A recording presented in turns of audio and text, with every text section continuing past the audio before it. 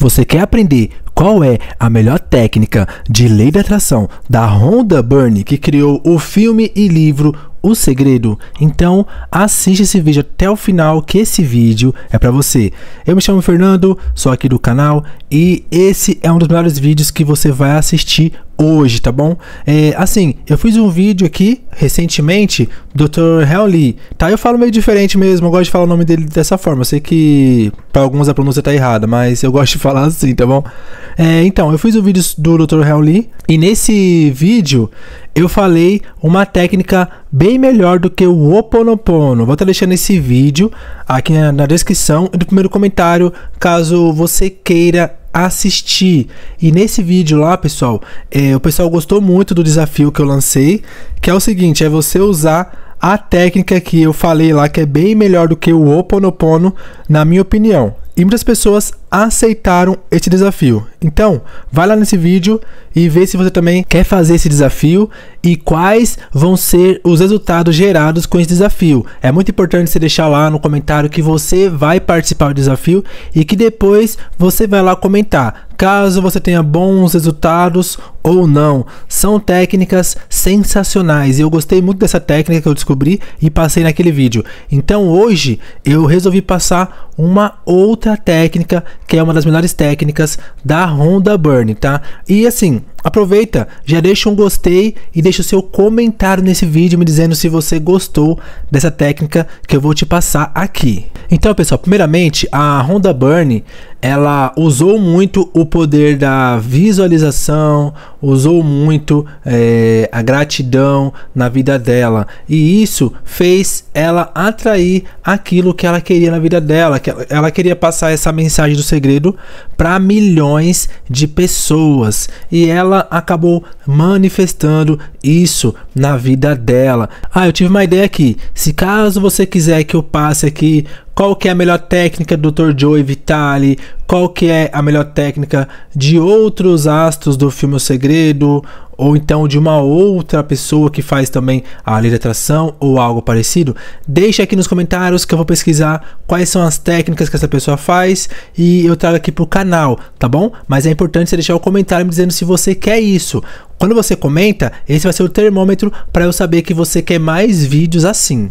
Então, pessoal, vou passar aqui para vocês a técnica que para mim é a melhor técnica da Honda Burn, tá? E aí, assiste até o final, porque depois que eu passar essa técnica aqui para vocês, eu vou falar um brinde, uma outra técnica que ela usa, que ela recomenda muito. E se você quiser aprender mais estratégias da Onda Burn, tá? Eu não vou estar deixando nenhum link do livro dela, que é a magia. Esse livro da magia, ela ensina 28 exercícios. Eu falo técnicas, mas pode ser exercícios também, tá?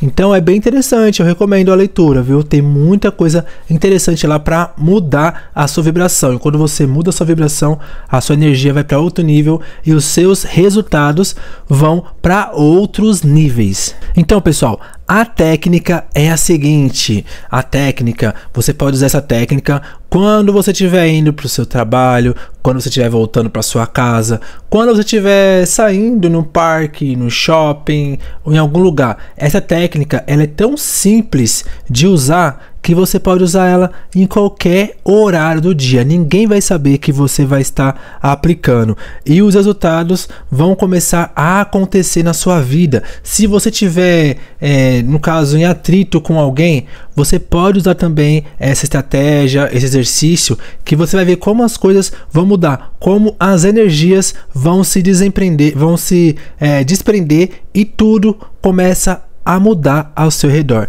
Então, que exercício é esse que eu vou te passar agora? É o exercício de você abençoar tudo aquilo que você quer. Exercício, ele está na Bíblia, tá? Então é um exercício que abençoe as coisas em tudo, dai graças. Mas como que você vai fazer o exercício na maneira que eu vou te explicar aqui? Quando você estiver indo para o seu trabalho, quando você estiver voltando de algum lugar, indo para um passeio, ou saindo com seus familiares, saindo com alguém que você gosta, é, tiver uma situação que também não é tão confortável para você, o que, que você vai fazer? Você vai começar a abençoar as pessoas ao seu redor, a abençoar o ambiente. Você pode falar assim, ó, ou você pode falar uma palavra também, eu te amo, para o ambiente e para as pessoas. E aí você começa a falar assim: que Deus abençoe a sua vida, que Deus abençoe tudo ao seu redor, que as coisas na sua vida prosperem cada vez mais. E você fala isso com o melhor sentimento possível.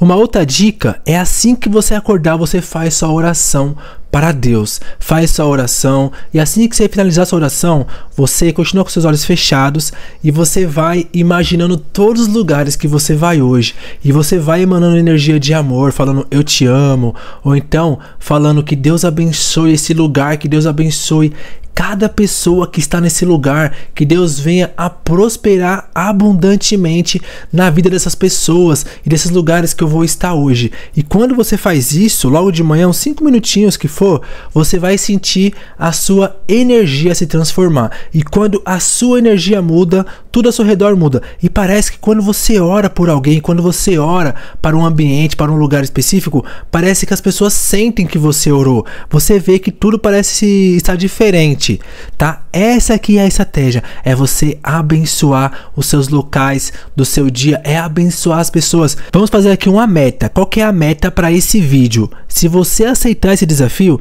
deixa aqui nos comentários. Eu aceito o desafio tá bom? E depois você vem contar aqui para mim, mas é para mim mesmo. Se você aceitar esse desafio, você vem e me conta aqui nos comentários se deu certo ou não, tá? Põe aí uma semana, duas semanas ou um mês para você fazer o teste, mas faz o teste focado. Gasta pelo menos de 5 a 10 minutos todos os dias fazendo isso, tá bom? Então coloca lá eu aceito nos comentários.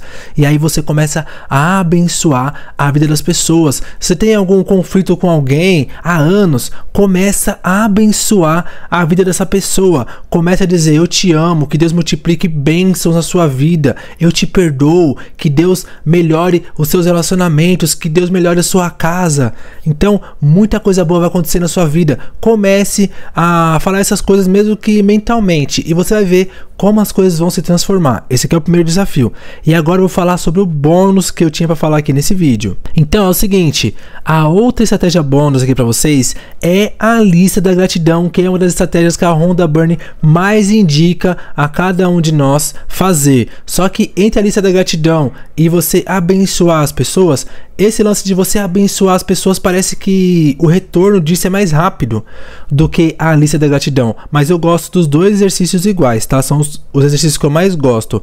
Então, você vai fazer uma lista com 10 motivos de gratidão. E no final da lista, você vai falar o porquê você é grato por cada motivo de gratidão.